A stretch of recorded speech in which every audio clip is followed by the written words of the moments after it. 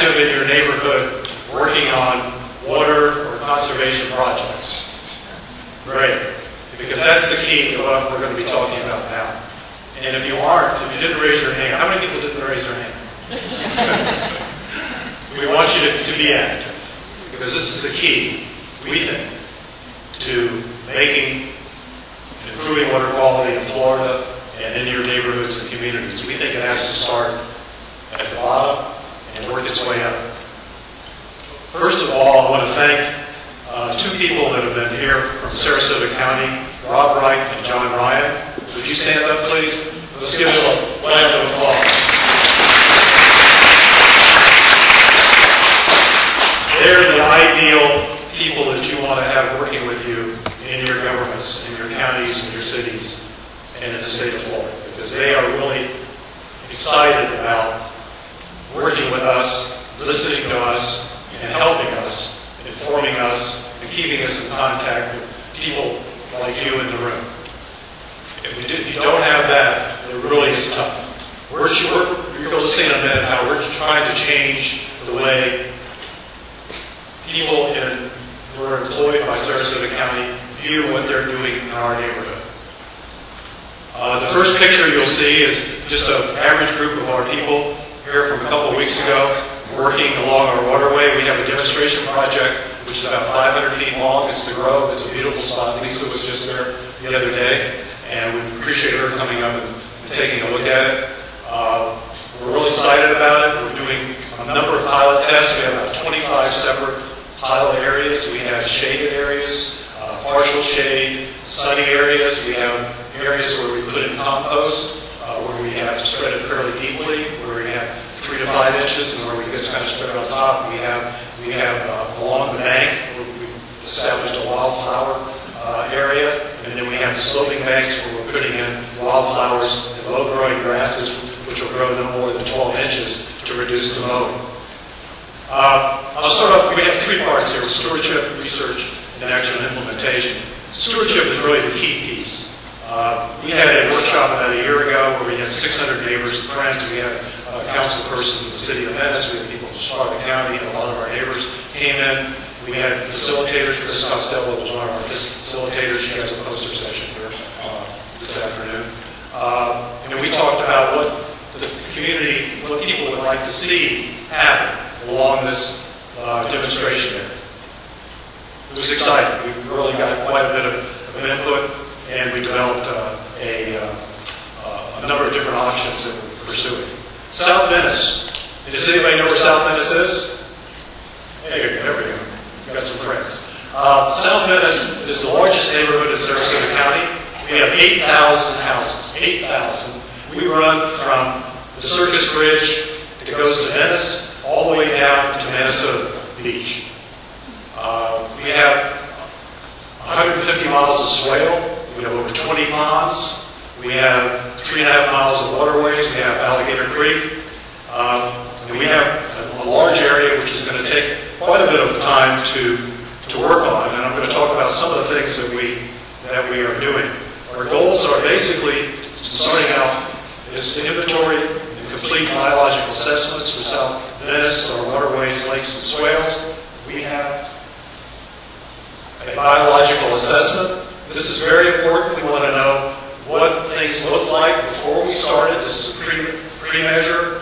We're doing on-site measures throughout the time. We're doing water quality measures every month in our waterways and creeks and so forth. This will this looks at the flora and fauna. We've, we've picked out some selected areas along our waterways, and this will be important to see over time what changes we're making. Uh, we're also looking at uh, rehabilitation, and what I just talked about earlier is we're working on the Siesta Waterway. As a pilot, we have $613,000. Uh, the county provided 313, received recently a, a mud uh, matching of 300,000, and our neighbors are really excited. We wanted to make sure that what we did worked, uh, so we're doing these pilot tests. Uh, we're going to be restoring lakes and ponds uh, in our parks. And we're also working uh, with our neighborhoods on swales and yards, gathering places. We're very interested in our trails and bike paths.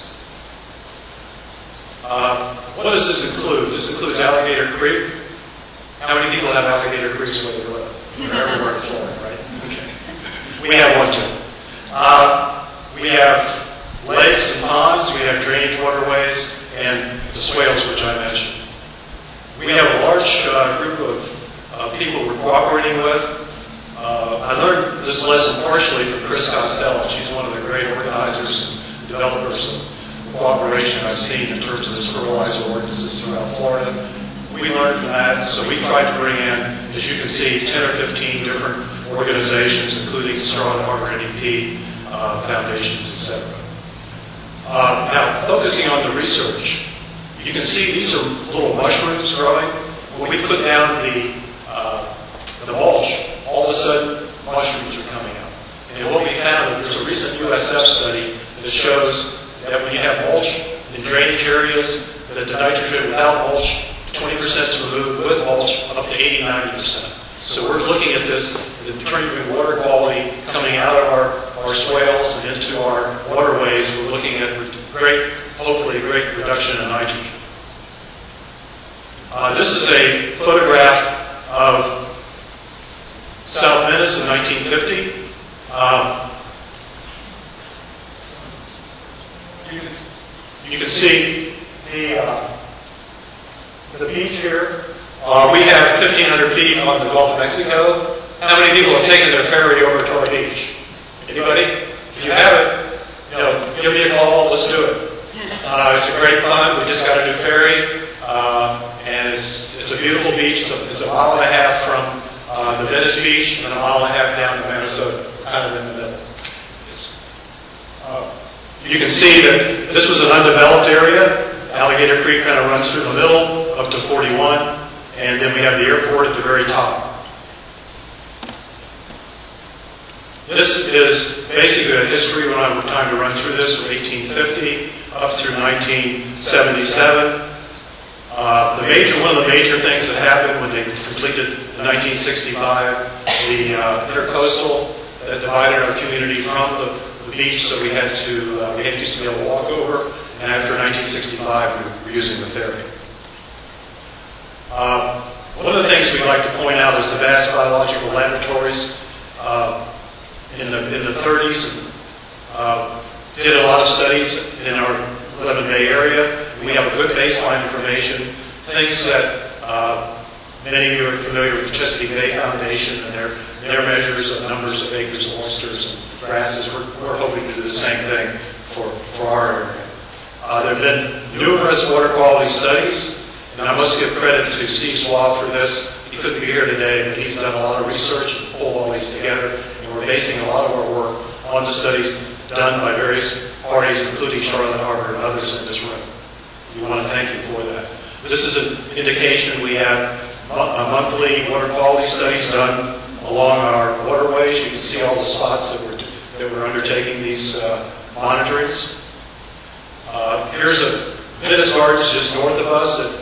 Their, their effluent water coming out of their lakes flows through South Venice. And you can see how the nitrogen values are way above the EPA uh, proposed standards, and we're very concerned about that. In fact, we're working with them, uh, and I'm making this same presentation actually next Monday to them. We'll probably be doing some joint proposals for funding. Uh, restoration, this is what the county did to us. Uh, for instance, Siesta Waterway, which we've been working on now for about two years, uh, was totally uh, covered over, mucked in, uh, we pulled out microwave ovens, lights, dead dogs, you name it. Uh, we got down in our waders and pulled up by hand onto the banks the, uh, the sediment that had been gathering for 20 years or so. Uh, you can see the county, they're mowing down to the, the water's edge. Uh, we have stopped that, and what we're hoping is by planting these uh, wildflowers and so forth, that we'll be able to uh, reduce the mowing maybe to once a year or, or less. Uh, here's the swale maintenance. You can see that you see a lot of sand and, and so forth there. And then once we put in the mulch and uh, the grasses and so forth, uh, it completely rejuvenates them. Uh, now, just quickly, I'm going to run through what we're doing. Uh, we're basically, the process is this. we move the muck from the flow channel up to the bank and we mix it with mulch and compost. We remove the invasive plants, we regrade, stabilize the canal slopes. There's not much of that done. We're really, we're not putting over, like most of the hydroseeding is done now is along roads and so forth where the soil's been disturbed. We are not disturbing the soil at this point. Uh, and then we're replanting with the site with appropriate vegetation. Hydroseeding will be, some, will be some, doing some individual plants and ferns. Uh, our project areas, we have three major project areas for the waterways. Uh, our pilot is on Siesta. If you come up to South Venice, uh, you turn left on Seminole just before Lowe's. You go down to the end of Seminole, and just on your right is what we call the Groves, a beautiful spot of 500 feet with about 75 palms and trees, uh, oaks, and uh, we're going to be making this a neighborhood, this a neighborhood gathering place, and this is where we're doing our pilot test. Our objectives is to enhance the waterway habitat through bank stabilization, planting of Florida-friendly native plants, and to standardize best management practices uh, for basically the county, which is a, the counties are then maintaining these waterways. Uh, this is what we do. You put on waders. Typically, I bring my waders up and hold them up, but uh, how many people have been in waders down in these uh, these canals? Anybody done that? Great. Uh, many of our people said it totally changed their perspective on what needs to be done. You get down there, you begin to realize what has to be done to restore. Uh, this is our hydroseeding, which took place about four weeks ago. We have signs up. Surprise, surprise. Does the signs stay up? No. The neighbors love it. Here's our swale restoration.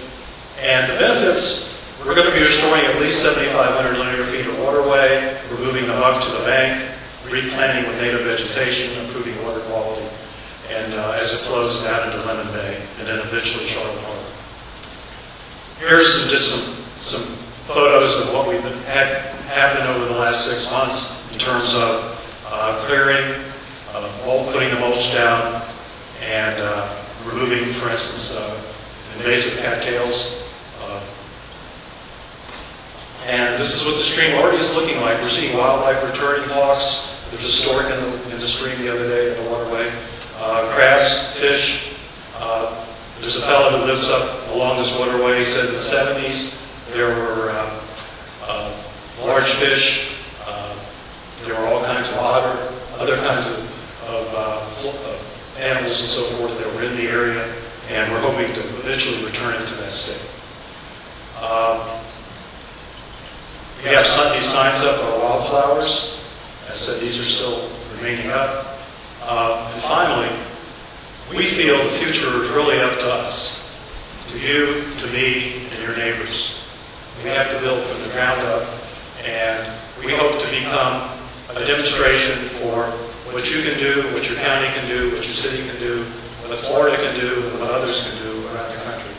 And we're really fortunate to have strong support from our county, Swift from Charlotte Harbor, uh, and many others. And particularly, uh, we have over 100 people now on our, on our email list. So it's really, you have to build, I think, starting with the community, making sure your commissioners or your council people know uh, that you really are committed to doing, uh, improving your, your community. And as Lorraine just and I were talking before I started, she said, you know, it doesn't matter if you're a Democrat or Republican. You know, 90% of us, 95% of us really care about where we live. And we want it to be beautiful. We want it to be, you know, we want it to have good water quality. We want the air to be clean. And we're just tapping into that. We think virtually everybody wants these things to happen. And what we're trying to do is come up with ways to do it. Thank you, and I'll take questions.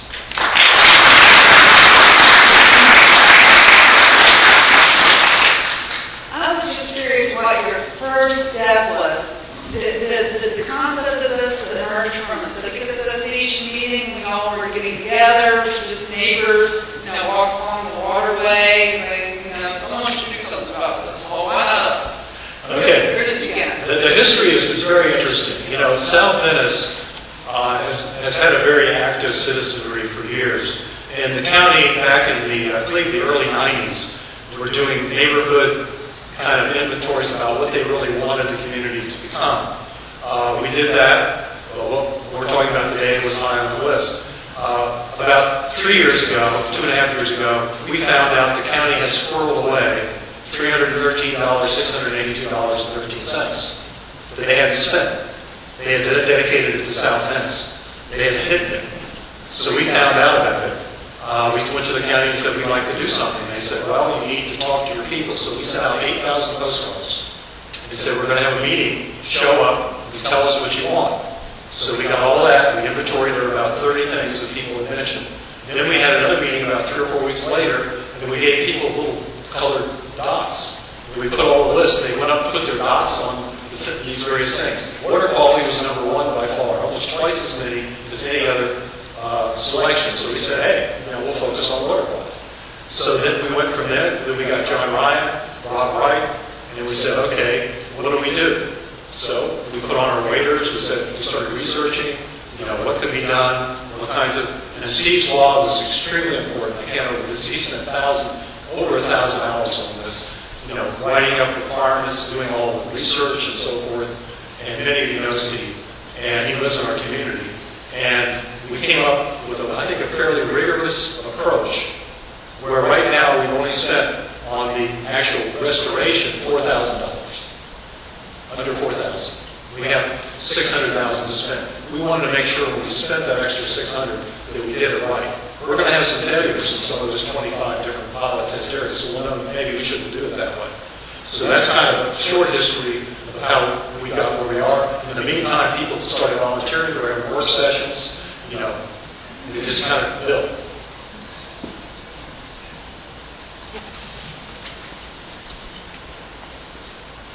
I'd like to know what people's favorite part of the project is. So you've been throughout this project, so what's your favorite part of the region that you find most rewarding?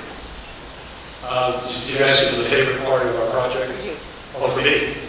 I guess putting on the waders you know, has to be. It got such a reaction from my wife. When I sent pictures to my kids, they couldn't believe it, you know. Here- Here's a guy who spent most of his life on Capitol Hill, you know, working with those members of Congress. You know, he couldn't, they couldn't see me in the ditch. I've been there virtually my whole career, right? But in any case, uh, it was, it was very satisfying. And I think the other thing is working with people. Uh, we have an incredibly rich community. We have people with experience in virtually every area you can think of, uh, from business, banking, environment, and so forth. And just drawing on that expertise was, was you learn something every day. And that's probably the key to this. There's two things that are really important. Number one is having fun. You know, if we don't have fun when we're out there, you know, people don't come back. And the second thing is to, just to learn something new every time you do something. And that's, that's kind of the key to what we're doing. Sure. Last question. Can I ask a question after? Sure. So, um, you said that the people of South Venice, way above other uh, uh, resources, identified water quality as something they're really passionate about. I wondered if you got a sense from those discussions what it was about the water quality that they really value, with aesthetics, with- is it the, the fish downstream? Well, Did yeah, impact that at all? yeah, I think that this built on, uh, I didn't mention the one probably critical uh, action that really built this whole thing. Is the, the county came in and said, we were, we have, we have in our community. We're the largest, we have half the septics in Sarasota County. And so one of the commissioners came into one of our meetings, we had 200 plus of our people, and she said, you're going to all spend, we're all going to pay $30,000 to put in a new sewer system. Well, you've ever seen a, a- an elected official run out on the rail? Uh, It was, it wasn't pretty. And so that kind of motivated us to figure out, what, were septics a problem, number one? And what, is water quality a problem? And it got people's attention very laser focused on this issue. That was really the key thing. The county came down, kind of lowered lowered the boom, and we said, oh no, we're not going to let this happen. We're going to do it right. We're going to make sure things happen the right. Way. So a lot of it was financially. We're going to defer the questions till the break, if you don't Okay, mind. okay. Well, We're doing a good job of getting back on track. She's like my wife, shut up, she goes. I-